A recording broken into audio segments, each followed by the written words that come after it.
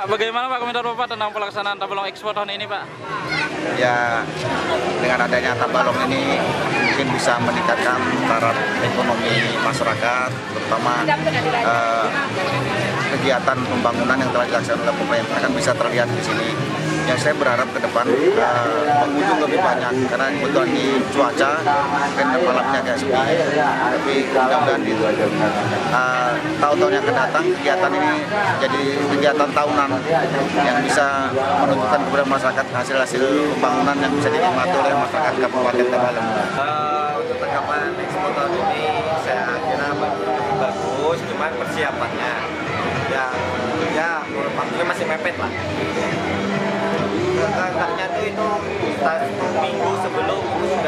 siap tenda-tenda agar semua stand-stand bisa. Kaming inilah tempatnya lebih baik itu, Ya, ibadah harapan ke depannya kayak Pak. lebih maju lah, rumah sakitnya lebih lebih meriah acaranya. Ada festival apa kayak tuh, band-band apa. Sekarang bagus Mas, tapi lokasinya kotor. Hujan Bang, wajar aja. Kalau harapannya sih artis-artis apa? Eh, gue starnya Mas, banyakin.